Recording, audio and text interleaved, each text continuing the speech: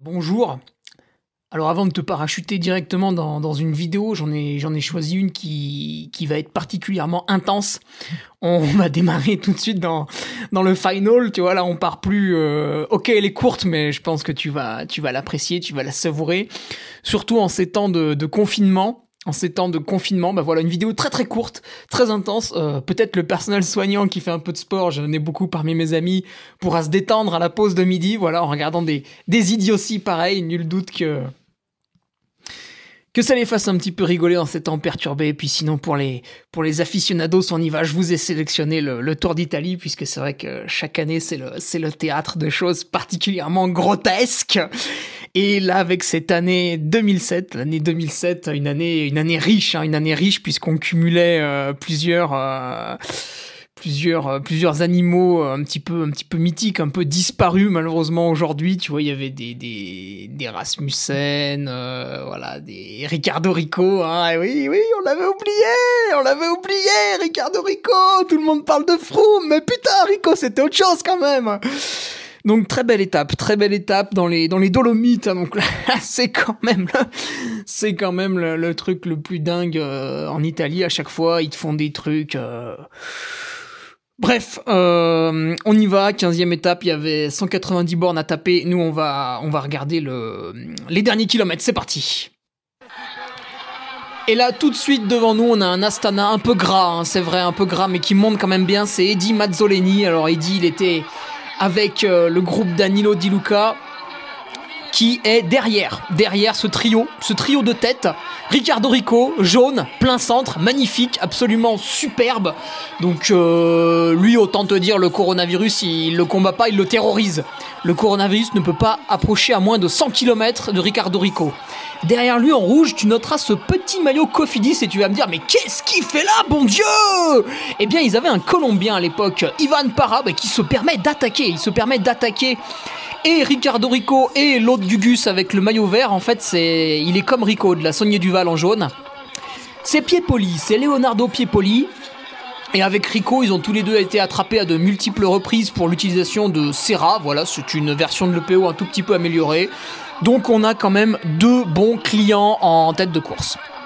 En rose, t'avais Danilo Di Luca, il est un petit peu derrière, environ 1 minute 30. Il est en train de prendre cher. Ça fait 90 bornes qui se défend sur l'étape. Puisque notre trio de tête, là, notre trio de tête, il s'est lancé dans le San Pellegrino. Après le San Pellegrino, qui est déjà un col hors catégorie, il y avait le Passo Gio, et là ils sont en train de monter les Tresime de Lavaredo, donc j'aime autant te dire que c'est du grand n'importe quoi. Et mon Ivan Parra, tu vois, il est courageux en rouge de la Cofidis. Il grimpe devant alors qu'il a absolument aucune chance face à Piepoli et Ricardo Rico. On dirait un policier qui arrive dans le 93 et qui fait Ouais, euh, les gars, là, euh, le trafic de drogue, c'est fini, ok? Bah non, en fait, euh, et Rico, ils sont en détente derrière. Regarde, regarde Piepoli, il se met un petit peu debout, un petit peu assis. Est-ce qu'à un moment donné, il est inquiet? Mais non, mais non et derrière le Danilo Di Rocca, tout de rose vêtu avec des gens qui courent à côté. hein. Bien sûr, on est en Italie, là, il n'y a aucune règle qui, qui prédomine. C'est la fête, c'est la fête constante. Le maillot rose esselé depuis peut-être quasiment une centaine de kilomètres. Il a été attaqué par Mazzoleni qui avait un petit temps roulé avec lui. Regardez, il est énorme, mais il grimpe quand même. Et Danilo Di Luca aussi, il a un physique. Il a un physique, tu le mets torse nu sur la plage, ça y est, il y a 50 gonzesses qui sont là autour. Oh, s'il te plaît, Danilo Oh, fais-nous un petit selfie, et énorme comme ça, bah, ça grimpe quand même. C'était la beauté des années euh, de 2000 à 2009, on va dire. On pouvait être volumineux et développer 4000 watts en boss. Il y avait aucun souci. Il y avait aucun souci. Et notre petit groupe de tête avec mon Rico, regarde-le, regarde-le, il sourit. Il sourit parce qu'en fait, il se promène là. Il se promène, il a attaqué, il était à plus de 90 bornes de l'arrivée avec son copain pied poli. Bon, il y a Ivan Parra qui a suivi, euh, voilà, c'était sympa pour discuter. Alors aujourd'hui, on se plaint d'un Christopher Froome qui attaque à 80 km, mais euh, avant c'était normal en fait. Avant c'était une norme. C'était euh, voilà, euh, j'arrive dans la montagne, j'attaque, il reste 100 bornes, 200 bornes, je m'en fous, je fais ce que je veux. Piepoli, allez, qui prend un petit relais là avec son maillot vert. Et mon Rico qui va passer à côté. Regardez Para. Il est assis, regardez les épaules comme elles bougent. Il a mal, il en peut plus. Et à côté les types, ils sont détendus, en danseuse, gentiment. Il l'encadre, tu vois, un peu comme avec, euh, un peu comme avec leur enfant. Voilà, il l'amène au terrain de jeu, font ça va et tout. T'as pris ton goûter. Tu veux pas reprendre un petit peu de choc à pic là? Allez, pied poli, il a, il a mis une petite dent en plus juste pour voir si Para était vraiment en train de crever. Et c'est le cas, c'est le cas, c'est le cas. Alors il s'échappe, il s'échappe, mais euh, tu vois, derrière Rico le rejoint. Alors là, tu me dirais, mais, mais ils emmènent Para. Mais non, ils emmènent pas Para, il est incapable de suivre. Putain, regarde-les, les deux, ils se retournent.